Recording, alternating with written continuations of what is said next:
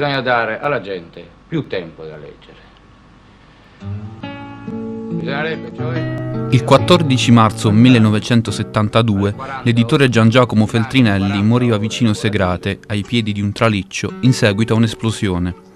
Le indagini ufficiali hanno sentenziato che stesse preparando un'azione di sabotaggio, ma negli anni si sono levate molte voci che raccontano versioni diverse e chiedono una riapertura dell'inchiesta. Un mistero italiano in piena regola.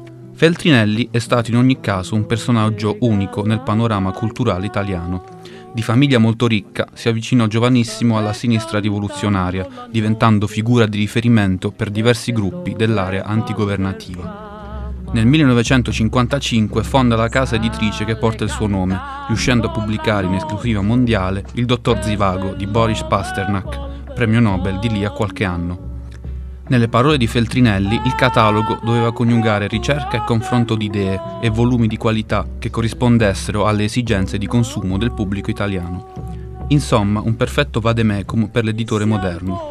Colto e carismatico, ebbe un rapporto stretto con Fidel Castro e pubblicò libri tra i più importanti del Novecento, tra gli altri Il Gattopardo e Herzog di Saul Bellow. Oggi Feltrinelli è un marchio ancora attivissimo sia come casa editrice che per le grandi librerie in tante città italiane.